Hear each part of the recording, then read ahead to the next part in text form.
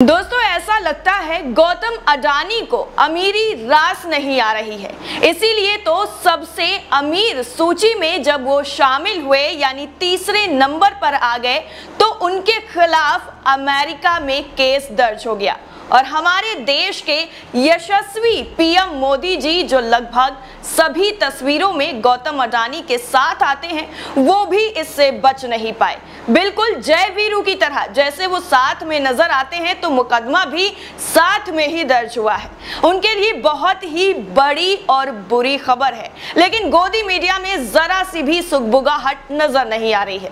जिस अमेरिका के साथ हर कदम पर कदम मिलाकर चला जाता है, तस्वीरें खिंचाई जाती हैं, अब उसी अमेरिका में मोदी जी, गौतम अडानी, आंध्र प्रदेश के सीएम जगन मोहन रेड्डी के खिलाफ मुकदमा दर्ज हो गया है।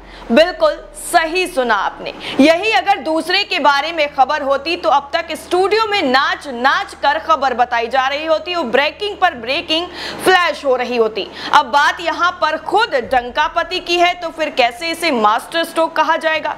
अपने देश में जहाँ पर राज कर रहे हैं मोदी जी, वहाँ पर तो अपने खिलाफ सारे के सारे जो भी मामले चल रहे थे, वो या तो बंद करवा दिए गए और जो बचे हैं उनमें क्लीन चिट मिल गई। लेकिन विदेशों में जो केस अब खुल गए हैं, उनको मोदी जी कैसे बंद करवाएँगे, उन पर कैसे रोक लगाएँगे? मोदी जी और उनके परम मित्र, यानी अडानी जी के बारे में खबर को सुनकर आपके पैरों के नीचे से ज़मीन ज़रूर खिसक गई होगी। क्योंकि जिस तरह से अभी चाहे बिल्किस बानू का केस हो, या फिर जो है 2002 के गुजरात दंगों से जुड़ा हुआ मामला हो, बिल्किस बानू का केस हालाँकि चल रहा है, लेकिन गुजरात दंगों का केस जो बंद कर दिया गया, उसके बाद कई तरीके के सवाल उठने लगे। मामले में जिस तरह से सुप्रीम कोर्ट की तरफ़ से टिप्पणी की गई, वो भी काफ़ी ज़्यादा अहम थी। लेकिन अब वही पेगासस का जो मामला है, वो अब विदेश में उठ गया है। और इस खबर को गोदी मीडिया से लेकर मोदी जी तक कोई ट्वीट करके बताने वाला नहीं है कि हमारा मास्टर स्ट्रोक देखिए कितना बड़ा है और वाकई हम विश्व गुरु बन गए।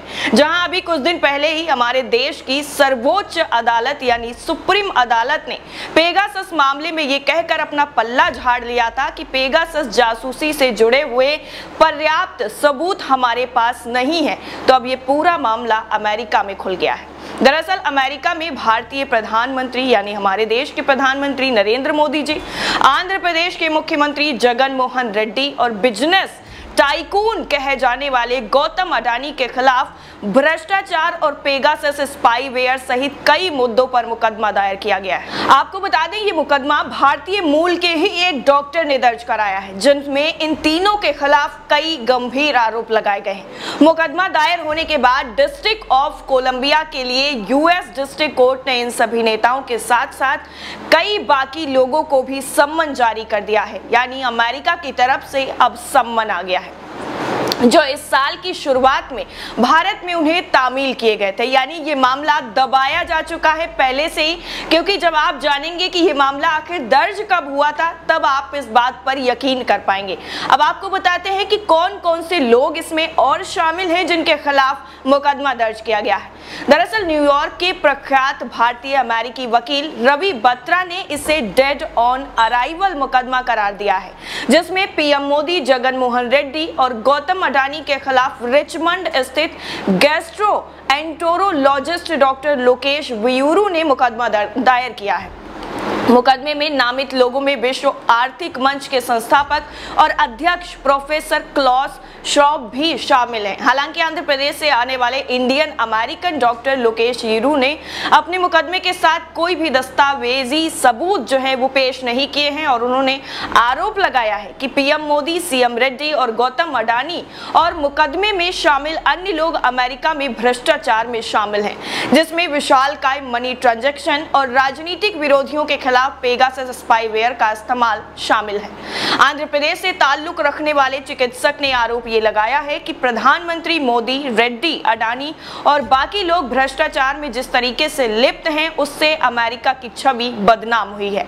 जिसमें अमेरिका में बड़े पैमाने पर नकदी हस्तांतरण और राजनीतिक विरोधियों के खिलाफ जासूसी सॉफ्टवेयर पेगासस का इस्तेमाल शामिल किया गया। इंडियन एक्सप्रेस की रिपोर्ट के मुताबिक ये मुकदमा 24 मई को दायर किया गया है, जिसके बाद अदालत ने 22 जुलाई को इन तीनों को सम्मन भी जारी किया था। उन्हें भारत में 4 अगस्त को और 2 अगस्त को स्विट्जरलैंड के श्वाब को सम्मन भी दिया गया था। डॉक्टर बयूरू ने 19 अगस्त को अदालत के समक्ष सम्मन प्रस्तुत करने के साक्ष्य भी प्रस्तुत किए। हालाँकि मुकदमे के बारे में पूछे जाने पर भारतीय अमेरिकी वकील रवि बत्रा ने कहा कि डॉक्टर लोकेश वीरू के पास बहुत ज़्यादा खाली वक्त है और उनके पास पास करने के लिए कोई और काम नहीं है।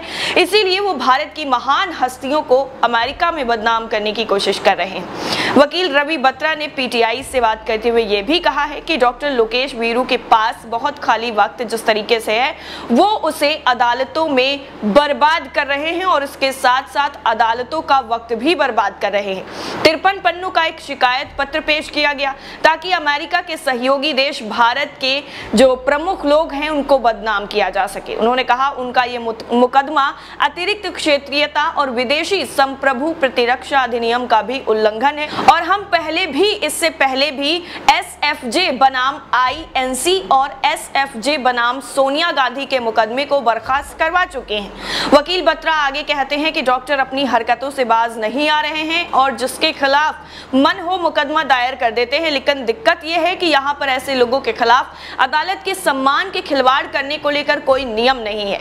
वहीं बत्रा ने एक सवाल के जवाब में यह भी कहा कि कोई भी वकील इस टॉयलेट पेपर यानी शिकायत पर हस्ताक्षर करने के लिए सहमत नहीं हुआ क्योंकि ये एक मृत मुकदमा है। अब देखने वाली बात ये होगी कि जो खुद आंध्र प्रदेश और अमेरिका से जुड़े हुए खुद एक डॉक्टर हैं प्रतिष्ठित, उन्होंने जब ये पूरा मुकदमा दायर किया है और सम्मन भी इस मामले में तीनों लोगों को जारी किया जा चुका है तो ऐसे में अमेरिकी अदालत की तरफ़ से क्या फैसला लिया जाता है या फिर इसमें आगे की कार्रवाई क्या होती है, ये देखने वाली बात होगी। इस रिपोर्ट को लेकर आपकी राय क्या है, कमेंट सेक्शन में ज़रूर बताइएगा। बाकी सारी अपडेट के लिए नेशन थ्री को सब्सक्राइब करना बिल्कुल ना भूले। जय हिंद।